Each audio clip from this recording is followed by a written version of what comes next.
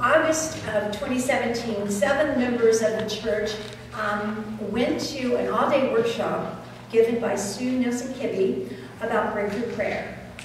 And uh, we came back and decided to start working together to try to share with everybody else how we might ask God to break through in new ways and miraculous ways and to create an atmosphere where we would be alert to God moments and where we'd be full of expectations for exciting things to come.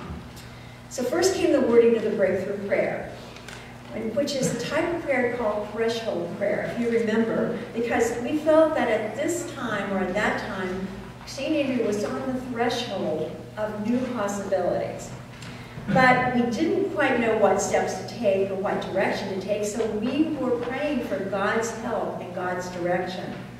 In our prayer, we ask God to break through our fears, break through our inhibitions, break through our differences, and to, to just give us an open heart to be ready for new possibilities. If you remember that, um, in that threshold prayer, we ask God for his plan, not our last fall, we held five gatherings where we introduced the breakthrough prayer process and distributed to everyone the breakthrough prayer specific to St. Andrew. I'm sure that each of you knows where your breakthrough prayer card is, either your wallet, your pocket, or some people even put it on their phone.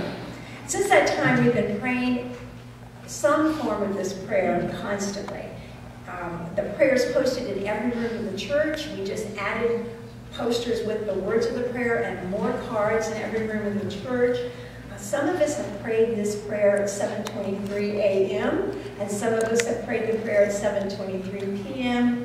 We've prayed it at meetings and events at the church and at Sunday worship. We've prayed this at home. We've prayed it at work. We've prayed it outside in the garden, in the car, throughout our church building.